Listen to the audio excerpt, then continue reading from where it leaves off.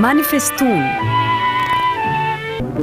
Istorija svakog dosadašnjeg društva jeste istorija klasnih borbi. U ranijim istorijskim epohama nalazimo gotovo svugde potpunu podelu društva na različite staleže, mnogostruko stupnjevanje društvenih položaja. U starom Rimu imamo patricije, vitezove, plebejce, robove. U srednjem veku feudalne gospodare, vazale, esnavske majstore, kalfe, kmetove. Ali naša epoha, epoha buržoazije, odlikuje se time što je uprostila klasne suprotnosti. Celo se društvo sve više i više cepa na dva velika neprijateljska tabora, na dve velike klase koje stoje neposredna jedna naspram druge, buržoaziju i proletarijat. Buržoazija najzad s postankom krupne industrije i svetskog tržišta nije osvojila u modernoj predstavničkoj državi isključivu političku vlast. Moderna državna vlast samo je odbor koji upravlja opštim poslovima cele buržoaske klase. Buržoazija se svih do tada uvažavanih profesija na koje se gledalo sa strahopoštovanjem skinula svetiteljski oreol. Ona je lekara, pravnika, sveštenika, pesnika i naučnika pretvorila u svoje plaćene najemne radnike. Nije ostavila između čoveka i čoveka nikakvu drugu vezu osim golog interesa, osim bezdušnog plaćanja u gotovom. Ona je lično dostojanstvo pretvorila u prometnu vrednost i na mesto bezbrojnih poveljama priznatih i izvojevanih sloboda stavila jednu besavesnu slobodu trgovine.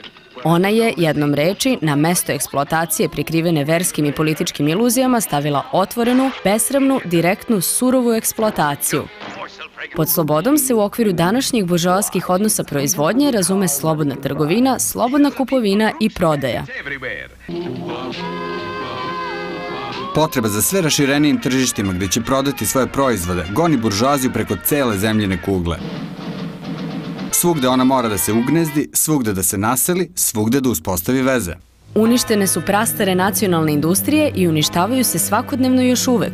Potiskuju ih nove industrije, čije uvođenje postaje životno pitanje za sve civilizovane nacije. Industrije koje više ne prerađuju domaće sirovine, već sirovine koje dolaze iz najudaljenijih oblasti i čiji se fabrikati ne troše samo u zemlji, već u isto vreme u svim delovima sveta.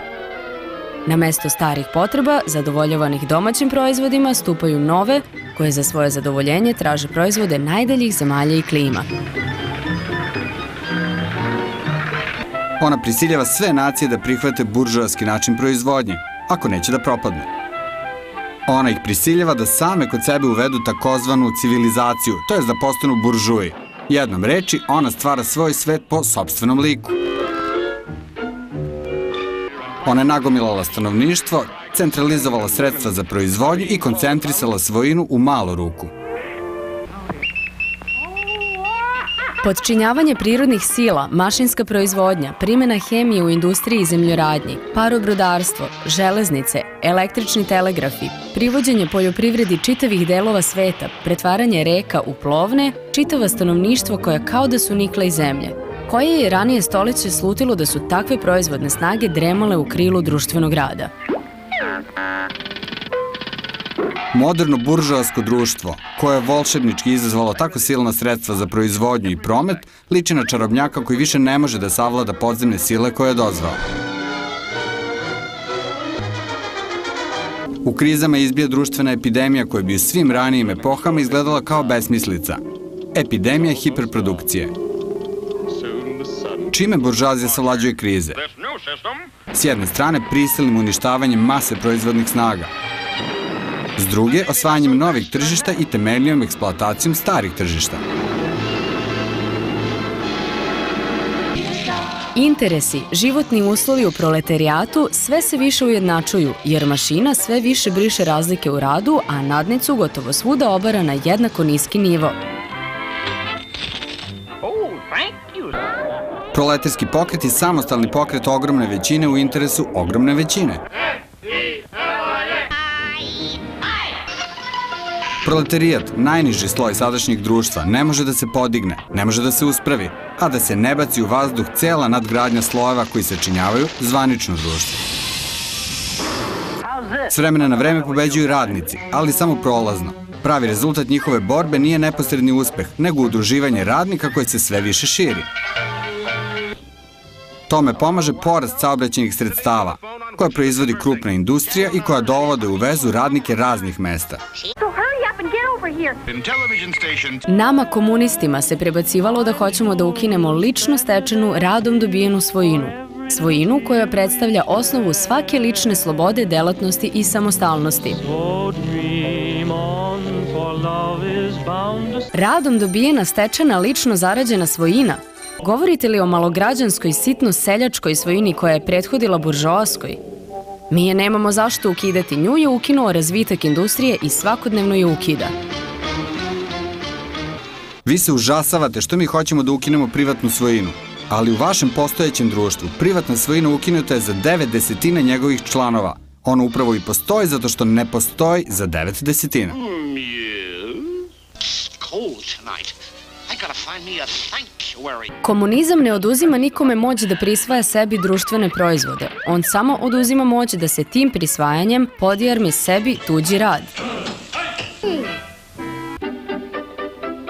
Buržoaske fraze o porodici i vaspitanju, o prisnom odnosu roditelja i dece postaju utoliko odvratnije što se više za proletere usled krupne industrije kidaju sve porodične veze, a deca pretvaraju u običnu trgovačku robu i oruđe za rad.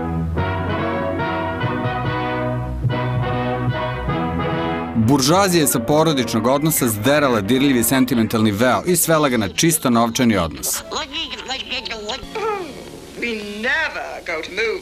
Uostalom, ništa nije smešnije od visoko moralnog užasavanja naših buržuja o tobožnjoj zvaničnoj komunističkoj zajednici žena.